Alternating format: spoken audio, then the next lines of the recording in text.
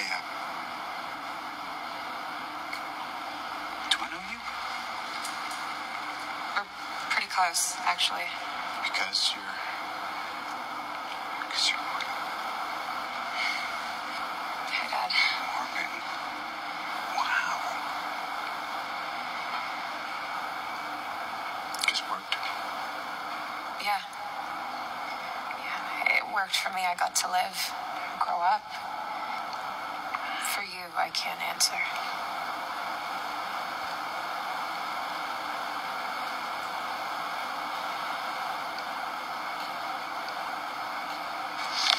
Uh, I'm sorry.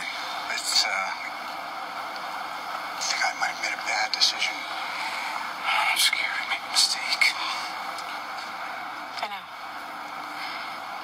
And I know it's going to be tough for you to let go. If someone had to do that, so the rest of us could. I'm proud of you. And sad.